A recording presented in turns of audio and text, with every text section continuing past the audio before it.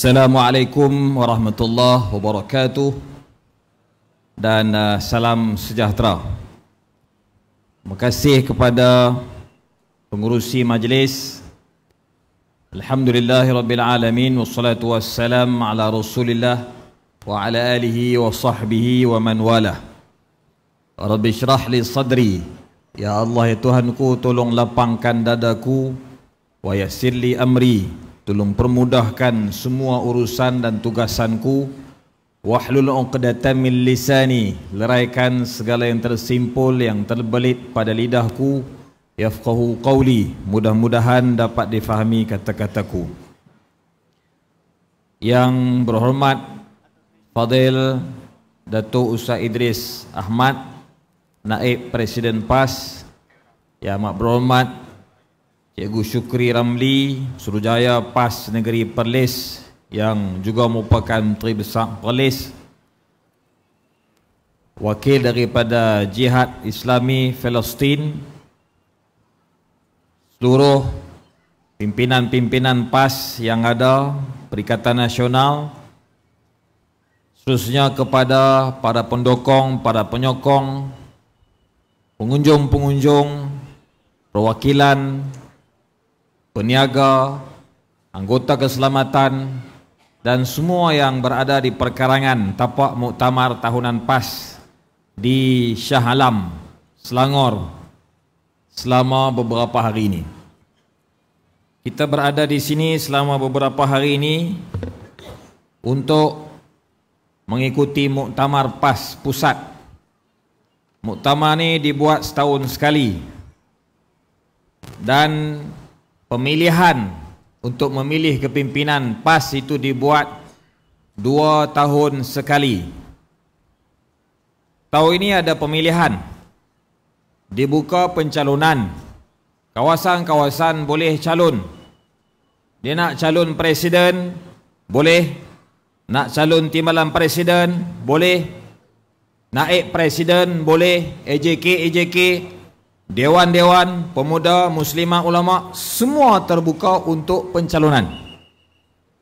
Syaratnya mestilah ahli PAS dan mengikut semua tata kelola yang dicerakinkan sesedara.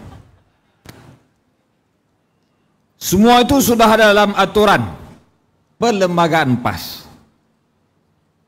Tapi setelah dibuka pencalonan, para perwakilan para pimpinan di peringkat PAS di bawah di kawasan. Kalau AMNO dia panggil bahagian. Bersatu dia panggil bahagian. PAS dia panggil kawasan. Setiap parlimen tu satu kawasan. Buat mesyuarat pilih mereka mencalonkan presiden orang yang sama. Timbalan presiden orang yang sama. Naik presiden orang yang sama tiga orang tambah lagi seorang orang yang keempat. Nak pilih tiga calon empat orang.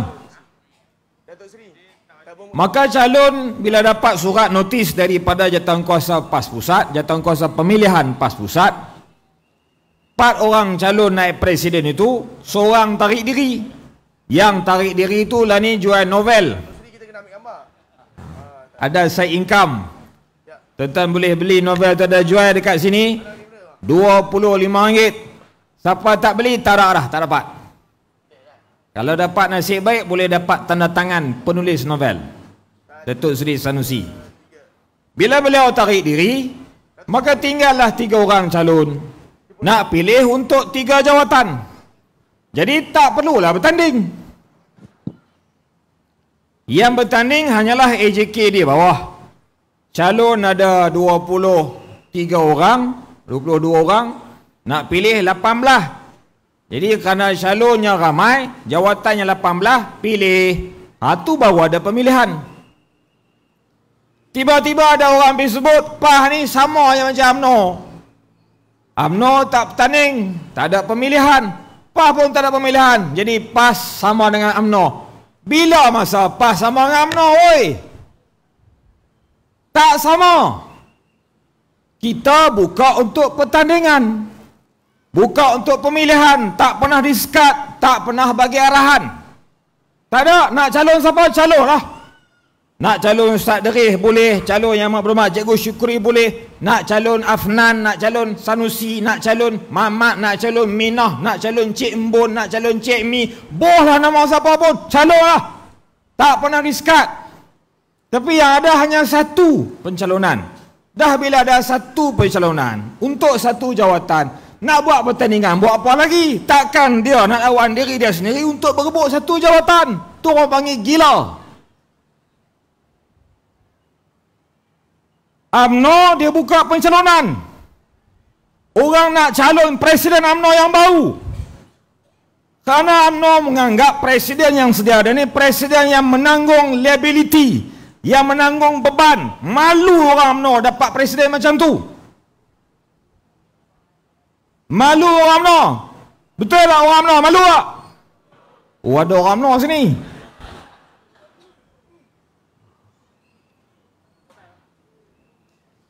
Tanyalah mana-mana orang UMNO. Kawan-kawan kita juga bukan orang lain. Malu tak dapat? Dia kata malu. Mengumumkan ketibaan timbalan Presiden PAS yang berhormat Datuk Seri Ustaz Tuan Ibrahim Tuan Man. Takbir.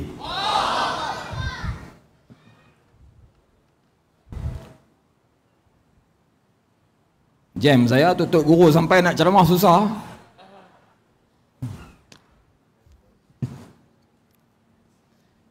Ya tuan-tuan, sebab apa mereka malu? Sebab mereka ada seorang ketua yang dalam satu himpunan yang besar rasmi peringkat parti berjanji dengan ahli parti no DAP, no Anwar. Tiba-tiba bila terbentuk kerajaan, dia sanggup berpakat menggadai prinsip parti, berbohong kepada ahli, berbohong kepada parti demi kehendak nafsu sendiri untuk merebut tahta dan melepaskan diri peribadi. Setuju?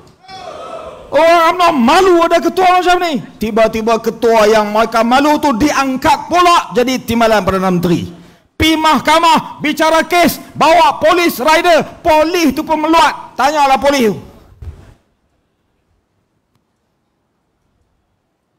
Tadi orang UMNO malu, lah, lah kita pun malu tuan-tuan. Orang nombor dua dalam negara ada kes yang besar, 47 kes, tiba-tiba dilepaskan tanpa dibebaskan. Lepas. Dan yang minta lepas tu pula ialah pihak pendakwa raya.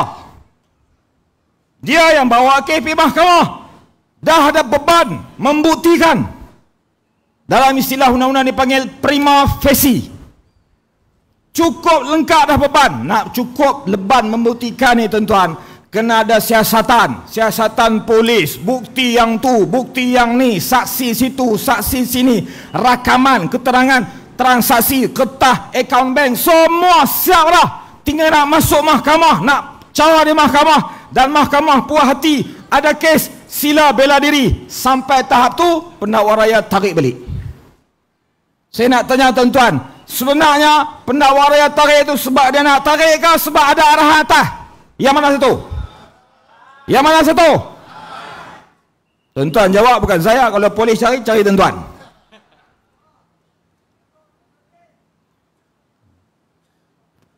Atas sebab inilah UMNO, dia nak tukar presiden dia. Nak tukar ketua dia, itu hak dia. Yang hampa main kacau kami. Pasal apa hampa kata pas sama dengan UMNO? Tak sama cewek. UMNO kalah pilihan raya. Pah menang dalam pilihan raya dengan PN. Sama tak? Tak sama. Pah di Kedah menang semua kursi yang bertanding. UMNO kosong telur ayam. Sama tak? Pas menang di Kelantan Terengganu. UMNO wuyup Kelantan Terengganu. Sama? Tak sama. Pas menang di Perleh Lampian. UMNO mati di Perleh. Sama? Tak sama. Ham sekolah mana yang kata pas sama UMNO? Tuan-tuan sekalian, kita menunjukkan apa tujuan kita berpolitik. Sebab itu dalam muktamar PAS, program-program, ceramah-ceramah, siri penerangan, sentiasa kita kaitkan tujuan politik untuk kita menjalankan tugas sebagai hamba kepada Tuhan. Menjadi hamba kepada Allah tak lengkap kalau tidak ada kuasa untuk melaksanakan apa yang Allah suruh.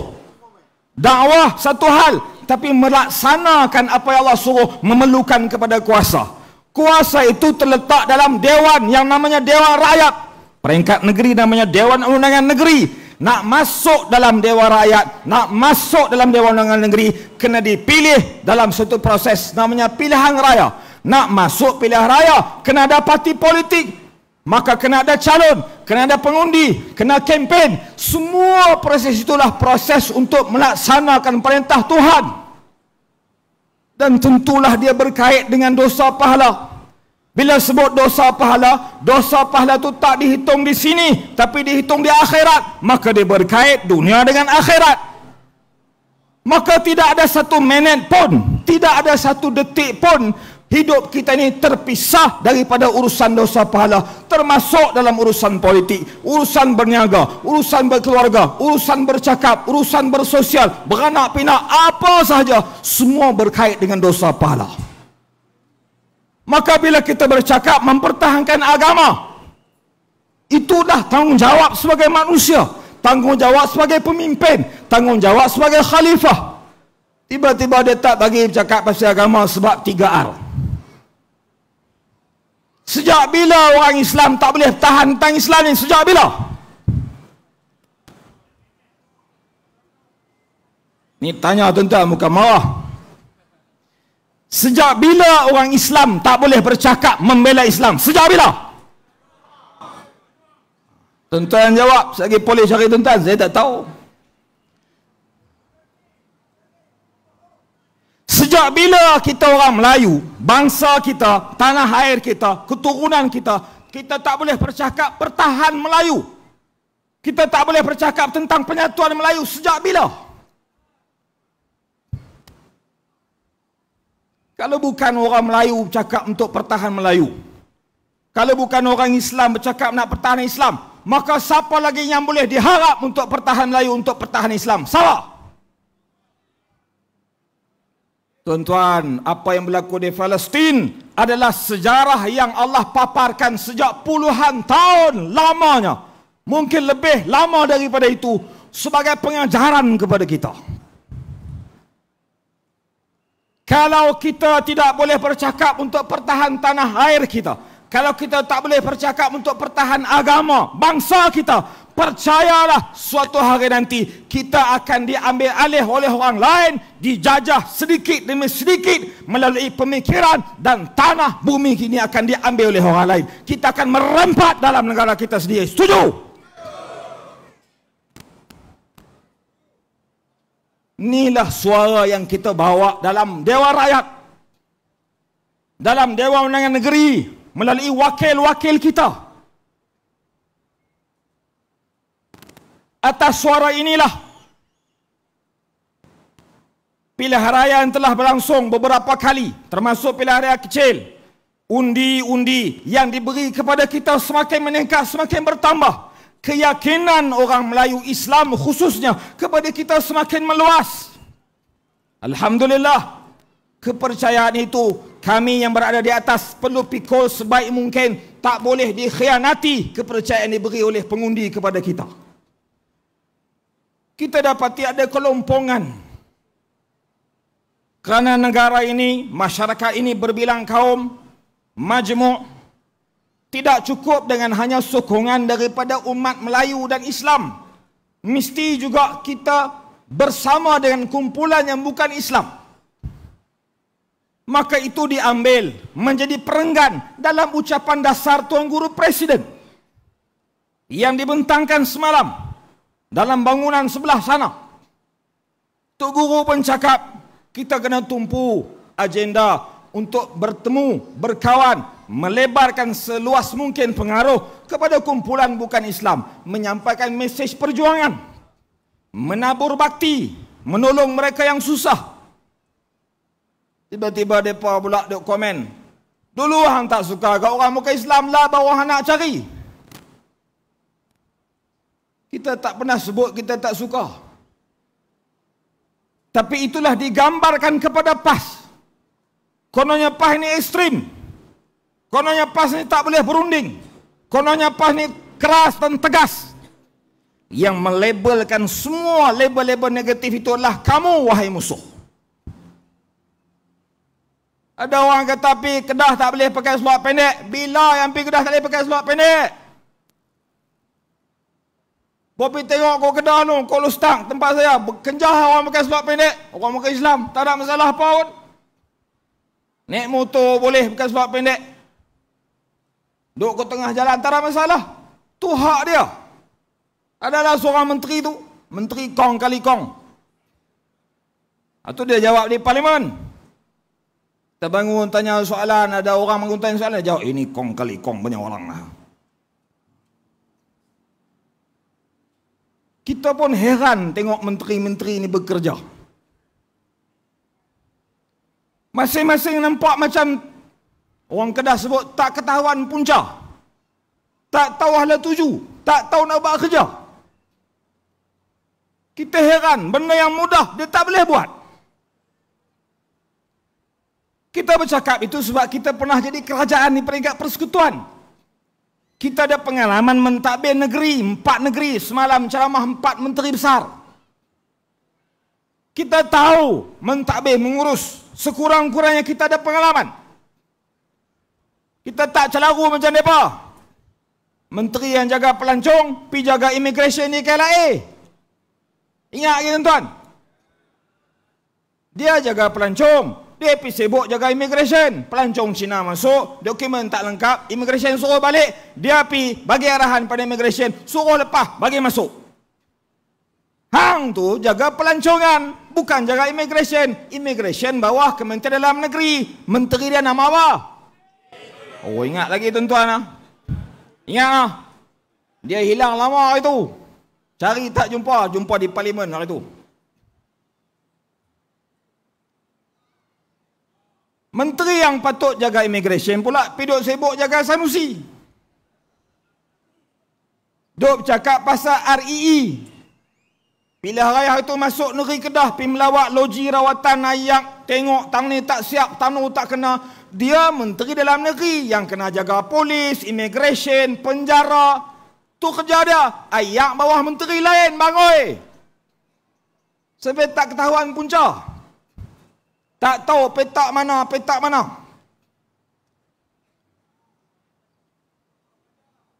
Menteri hak patut jaga internet. Internet tak ada. Ni macam tempat ni malam ni lain slow ni. Kan tuan? Duk WhatsApp duk pusing, tak masuk-masuk. Menteri hak patut jaga internet tu, jaga internet, bukan jaga polis. Ni tidak menteri itu mengugur rakyat, menakut-nakutkan. Siapa cakap pasal 3R? Siapa cakap kata dekat Anwar Ibrahim? Saya arah polis pergi tangkap depan rumah. Eh, menteri ini mentadbir, mengurus, memberi kesejahteraan kepada rakyat. Rakyat patut rasa selamat bila ada kerajaan. Ni kamu jadi menteri, kamu ugur rakyat, kamu menakut-nakutkan rakyat. Kerajaan apa macam ni?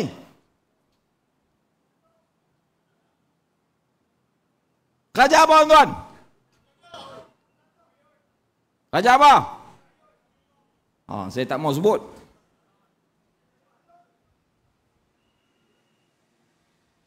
Kamu cakap tentang tata kelola. Banyak kali ada ulang. Daripada mula jadi Perdana Menteri bulan 12 itu kami di Parlimen ni tak larat dengar. Lah. Misi saya sesaudara bila kita jadi kerajaan tekad saya bila jadi Perdana Menteri yang pertama yang kita tegakkan adalah tata kelola yang baik semua yang rasuah kita akan terajang masuk dalam penjara saudara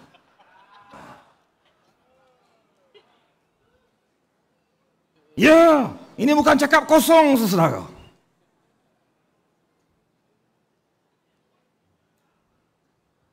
Bawah pentadbiran saya sebagai Perdana Menteri, kita akan pastikan kita tak salah guna jentera kerajaan. Kerana ini semua tata kelola yang baik yang dicerakinkan, diwewenangkan dengan penuh tiwi kerama sesedara.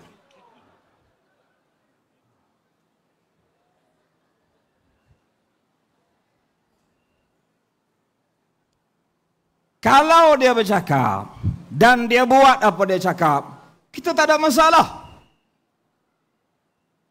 Kalau dia buat dengan baik, dia sebutlah tata kelola ke, tata kelola ke, tata kelaut ke, segala macam tata yang ada. Dia buat semua ikut aturan yang sedia ada. Cantik, rakyat rasa selamat, harga barang tak naik, dia tak salah guna kuasa kerajaan, tak salah guna parti politik, bawa masuk dalam agenda kerajaan. Semua berlaku dengan baik, kita boleh bersetuju untuk dia terus jadi kerajaan sampai habis penggal. Setuju? Tak ada masalah. Kalau dia bina negara ke arah yang lebih baik, tapi tak berlaku macam tu tuan-tuan. Saya buka mulut ya. Tuan-tuan yang sebut bukan saya kata. Dia guna helikopter pergi merata. Helikopter JPM, Jabatan Perdana Menteri. Ceramah di Pilihan Raya Kecil Pelangai. Dia kata negeri-negeri yang lawan dia, Negeri lawan saya minta duit dengan saya, saya tak bagi. Gaji saya bagi. Perlih, perlih saya bagi. Perlih. Dia kata yang ni boleh bagi, yang ni tak boleh bagi, yang ni boleh, yang ni tak boleh. Duit itu duit kerajaan. Duit kerajaan bukan duit mak bapak hang. Bukan duit poket kita yang kita boleh suka-suka hati. Nak bagi orang ni, tak mau bagi orang ni. Duit kita bolehlah kita buat keputusan macam tu duit kerajaan bawa masuk dalam dewan rakyat habis dewan rakyat masuk dewan negara lulus bawa pergi dekat agung agung gazet baru boleh belanja duit tu duit cukai yang dikutip daripada kita semua ni tentang beli dekat gerai ni semua dah cukai cukai pun dah dinaikkan subsidi kurang cukai bertambah 3 minit lagi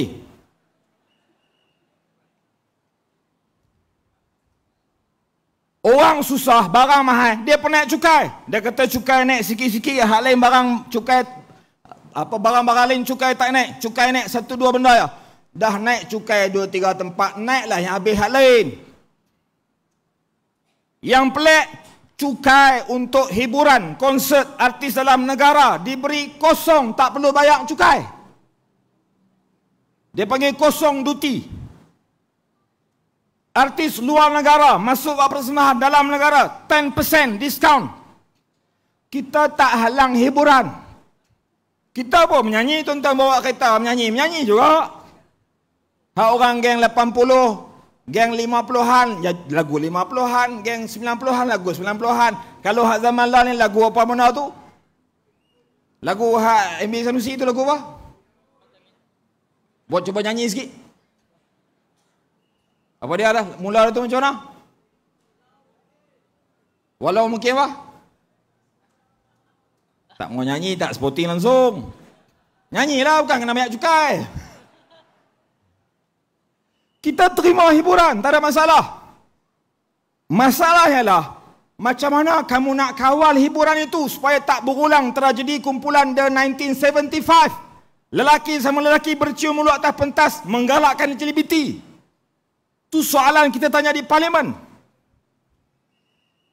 Tuan-tuan sekalian, daripada apa yang berlaku ni, daripada mula bulan 12, ambil alih kerajaan, sidang parlimen, tindakan yang dia buat, layanan yang berbeza ke atas empat negeri, SG4, disusahkan, disulitkan, disekat projek-projek pembangunan, dinafikan hak peruntukan wakil rakyat pemangkang, tak diberi untuk membangunkan rakyat di kawasan. Semua yang dibuat ni kita dapati tata kelola yang dia sebut nak wewenang nak cerakin pun semua jauh panggang daripada api.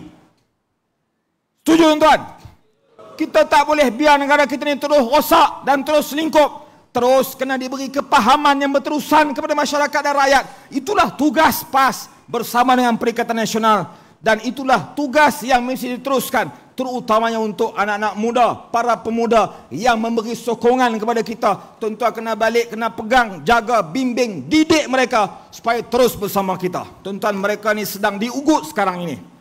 Sedang ditakut-takutkan melalui TikTok, mereka disekat. Kebebasan bersuara sudah semakin terhakis.